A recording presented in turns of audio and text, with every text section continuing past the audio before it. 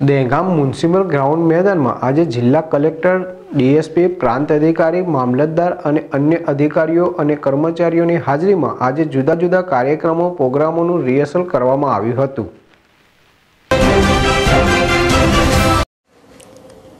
ગાંધીનગર જિલ્લાના Degam municipal ground ખાતે જિલ્લાનું છવ્વીસમી જાન્યુઆરી પર્વની ઉજવણી કરવાની હોવાથી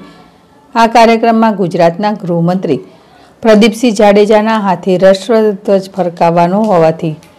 મંત્રીશ્રીના હાજરીમાં આ કાર્યક્રમ સારો બની રહે. તેના માટે આજે સવારે નવ વાગે દેગામ મ્યુનિસિપલ ગ્રાઉન્ડમાં જિલ્લાના અધિકારી અને કર્મચારીઓ અને અન્ય શાળાઓના શિક્ષકો, આચાર્યો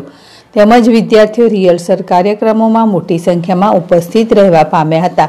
અને મ્યુનિસિપલ ગ્રાઉન્ડમાં છવ્વીસમી જાન્યુઆરી પર્વની શાનદાર રીતે ઉજવણી કરવાની હોવાથી ગાંધીનગર જિલ્લાના કલેક્ટર કુલદીપ આર્ય, ડીએસપી મયુર ચાવડા,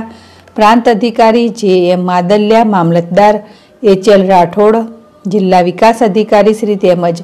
જિલ્લાના અધિકારીઓ તેમજ તાલુકાના અધિકારીઓ આ સ્થળની મુલાકાત માટે સવારથી હાજર રહીને આ ગ્રાઉન્ડમાં પોલીસ હોમગાર્ડ પરેડનું જિલ્લા કલેક્ટર દ્વારા નિરીક્ષણ કરવામાં આવ્યું હતું.